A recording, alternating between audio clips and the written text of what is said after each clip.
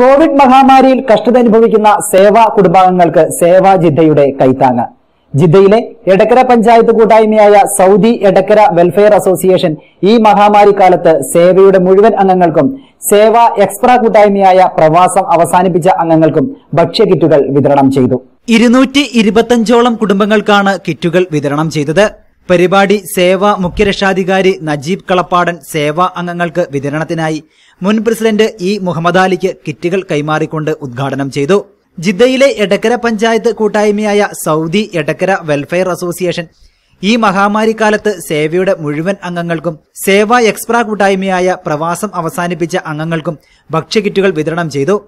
ജിദ്ദയിൽ നിന്നും president Shahid Rahman general secretary Gafoor E A നാട്ടിൽ നിന്ന് treasurer Ameer Edakkadan Mansoor Edakkara Mansoor K T Muhammad Ali Parappuram Rasal Babu Sameer Karunnachi T T Nasar Shameer Parappan Naseeb Sajad Muhammad Ali Faisal C M Latheef Pallippadi Riyas എന്നിവർ നേതൃത്വം നൽകി.